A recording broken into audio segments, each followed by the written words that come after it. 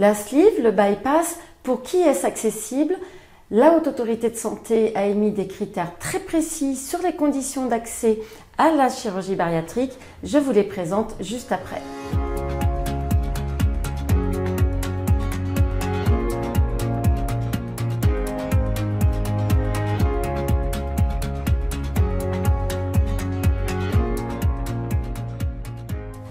Bonjour, je suis Anne Gaëlle, je suis psychologue spécialisée dans le surpoids et l'obésité. J'accompagne les personnes dans leur parcours de chirurgie bariatrique et on va aborder dans cette vidéo les critères qui sont émis par la Haute Autorité de Santé et qui conditionnent l'accès à la chirurgie bariatrique. Le premier critère, c'est l'âge. Vous devez avoir entre 18 et 60 ans.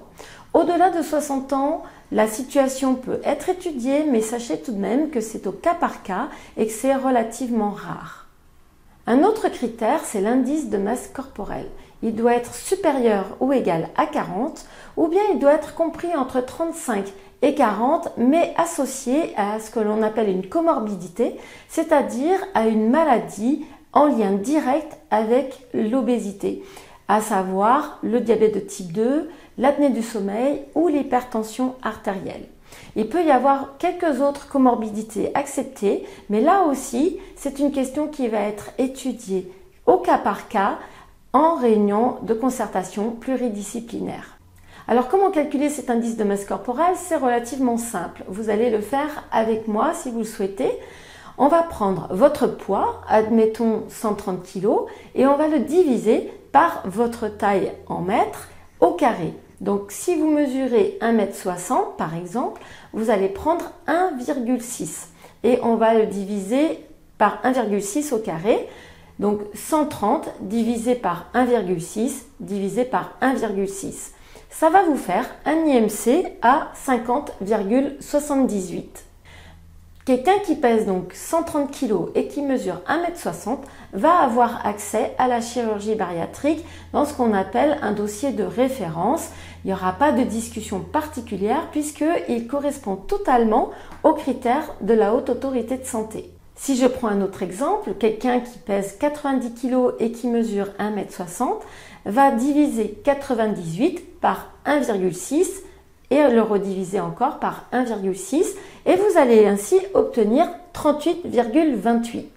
Eh bien, un indice de masse corporelle à 38,28 ne va pas donner un accès systématique à la chirurgie bariatrique. Le dossier ne sera accepté par la sécurité sociale que s'il y a une maladie associée à cette obésité, comme je vous le disais, l'hypertension, l'apnée du sommeil ou encore le diabète de type 2 ou quelques autres comorbidités. Un autre critère aussi, ça va être la complexité technique, c'est-à-dire que certaines personnes ont eu d'autres interventions au niveau digestif qui peuvent rendre la technique beaucoup plus complexe. Je parle là de l'acte chirurgical en lui-même et le chirurgien peut avoir des difficultés à intervenir sur votre estomac. Donc là, c'est le rendez-vous avec le chirurgien, les examens complémentaires qu'il va vous demander, qui va le déterminer. Un critère qui est très important aussi, c'est que la chirurgie bariatrique doit être la solution de dernier recours, doit être la solution qui est proposée si tout le reste a déjà été tenté. Et pour ce faire, la Haute Autorité de Santé vous demande d'avoir un suivi nutritionnel et un suivi psychologique d'au moins 6 mois pour pouvoir prétendre à la chirurgie bariatrique. C'est la raison pour laquelle lorsque vous démarrez un parcours de chirurgie bariatrique, on vous oriente vers une nutritionniste, une diététicienne et vers un psychiatre, une psychologue. De ce fait, votre chirurgien va vous demander une évaluation nutritionnelle et psychologique qu'il va associer à votre dossier, à votre demande de prise en charge à la sécurité sociale. Pour ma part, je suis convaincue qu'il faut aller bien au-delà de cette évaluation, mais qu'il est préférable et même je dirais indispensable, fondamental, que vous ayez un véritable accompagnement. Parce que la chirurgie bariatrique, ça n'est pas une baguette magique, ce n'est pas la solution ultime, c'est un booster, c'est un dynamiseur, c'est ce qui va vous permettre de perdre du poids rapidement, significativement, mais encore une fois, ça ne va pas garantir la stabilisation à vie. Ce qui va vous permettre véritablement de stabiliser sur le long terme, c'est tout ce que vous allez mettre en place autour de la chirurgie, avant l'acte technique et après, dans le cadre du suivi, dans le cadre de la transformation de votre corps.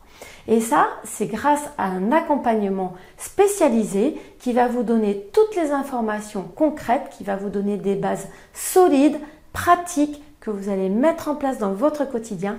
C'est ça qui va être un véritable facteur de réussite sur le long terme.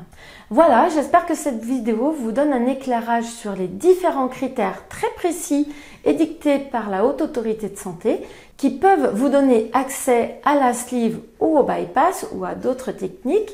Ayez bien conscience que la chirurgie bariatrique n'est pas une baguette magique et que si vous voulez vraiment réussir, vraiment stabiliser, il va vous falloir remettre en cause beaucoup de choses, réinterpeller votre mode de vie, réinterpeller les facteurs qui ont été en cause dans votre situation.